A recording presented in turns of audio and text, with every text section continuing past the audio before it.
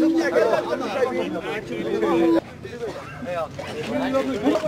باقی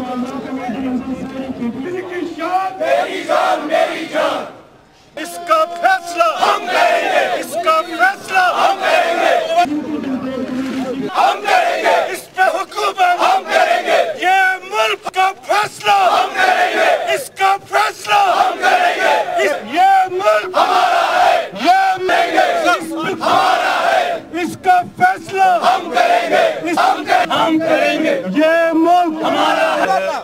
ہے یہ ایک مسلح حقیقت ہے کہ مسئلہ کشمیر آلریڈی یونائٹڈ نیشنز میں ہے اور وہ دنیا کی سب سے بڑی کورٹ ہے۔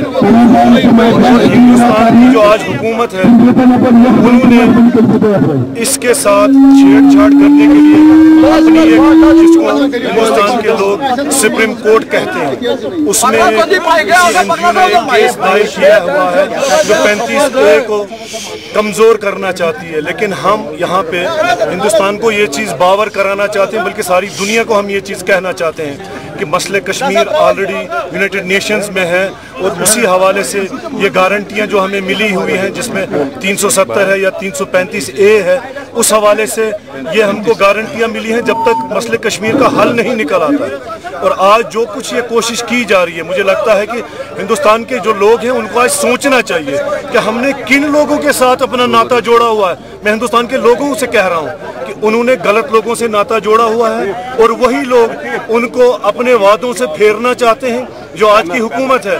اور اس کے بعد جو رہا سوال کہ ہم اس کو کیسے ڈیفینڈ کریں گے؟ ہندوستان کی حکومت کو اور ہماری جانیں بھی چلے جائیں گی، لیکن کوئی بھی چیز، مسئلہ کشمیر کے حوالے سے چھوٹی یا بڑی چیز ہوئے، اس کے ساتھ ہم کہیں پہ بھی کمپرومائز نہیں کریں گے۔ اسی حوالے سے ہم نے دو دن کی جو حریت کی کال ہے، جس جس کا سپورٹ یہاں کی ٹریڈ کمیونٹی یہاں کے جو انڈسٹریز ہیں، یہاں کی جو باقی ٹریڈ آرگنائزیشن ہے ٹورزم ہے یا ٹرانسپورٹ کے حوالے سے جو بھی لوگ ہیں۔ اور آج آپ نے دیکھا ہے کہ آج اتنی ہمگیر ہتار ہوئی ہے، جس کا ریسپانس سارے لوگوں نے دیا ہے۔ آج ان کو لگ رہا ہے کہ ریاست جموں کشمیر کے لوگوں کو کہ آج ہمارے آج ہمارے پہ حملہ ہو رہا ہے، جو ہم کبھی بھی برداشت نہیں کریں گے۔